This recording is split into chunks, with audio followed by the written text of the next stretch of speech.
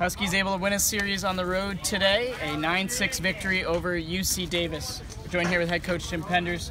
Coach, uh, again, Wills Montgomery, a rough first inning, but you got some pickup from Alex Lefebvre there in the second with that three-run double. Yeah, really good job. The guys, uh, both he and Isaac Feldstein, those first two hits, and we talked about uh, just taking away half the field off that guy. He wasn't going to beat you with a fastball, and he, he, he, uh, thrives on guys going out of his zone and, and nibbling and doesn't throw super hard, you can sit soft and just take away half the field, take away the pull side, and just go oppo. And those first two guys showed the way. I thought they did a really good job of believing the report and embracing it. And we made them pay for it seemed like everything they gave us for free, we made them pay.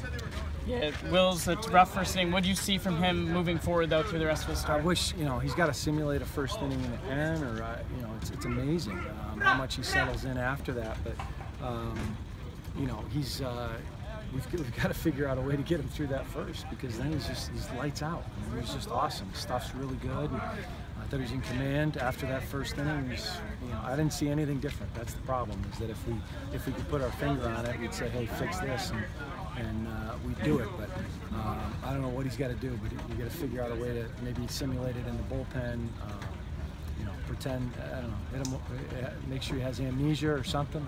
We don't want to hit him over the head. Um, he's got to forget about. He's just got to think it's a second.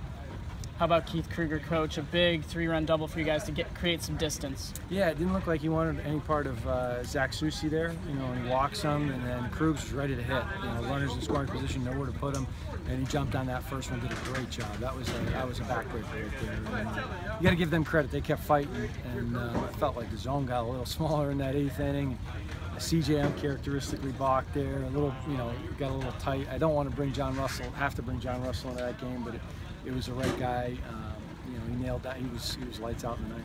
How big is it to get a series win here on a Saturday? Yeah, that's why you bring him in. You know, want to find a way to win the series on the Saturday and away from home. That's a big deal. And uh, now we got to you know, stay hungry and, and, find a way to, to come out tomorrow. I got to expect them to play a lot better tomorrow and, and, give us their best punch. And ours has to be ready too. We haven't. Uh, you know, we haven't done that yet. On a Sunday, they'll you know finish finish the job, and uh, we've got to try to do our best to, to do that tonight with one less hour sleep.